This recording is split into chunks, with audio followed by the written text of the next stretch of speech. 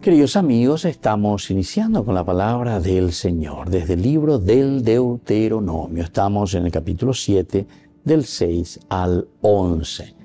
Nos dice así la palabra del Señor. Moisés subió y habló al pueblo diciendo, Tú eres un pueblo consagrado al Señor tu Dios.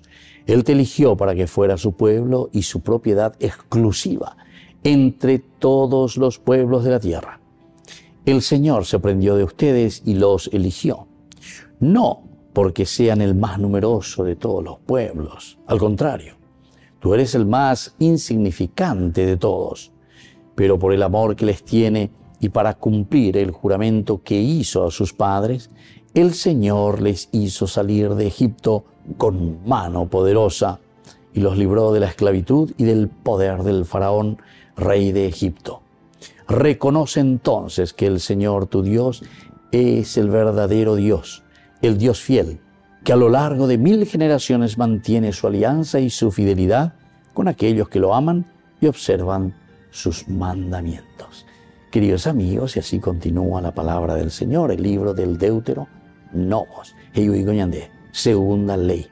Upeaco Seina ñande, ñande yara a de la sepo lleva después de haberte dado una primera ley, de una segunda ley.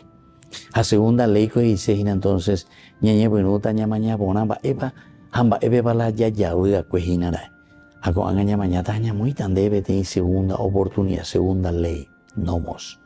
Entonces desde esta segunda ley, después de nuestra experiencia y nuestro camino, vamos a procurar escuchar, sentir, saber y sobre todo comprometernos con la palabra del Señor.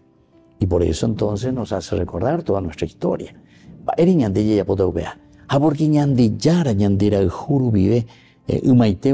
Él te eligió para que fueras su pueblo y fueras su propiedad.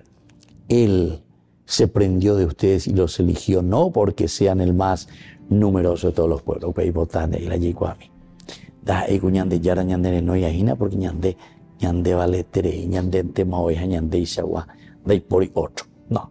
Da e ube así yo que fuera. Abe ñande yara ñande no inojina, abe ñande yara ino ñande. Bueno, yo les voy a dar esta posibilidad. Yo les ofrezco esta hermosa posibilidad. Es justamente para que nosotros sepamos que todo es gratis, que todo es elección de parte de Dios, que todo es bondad de parte del Señor.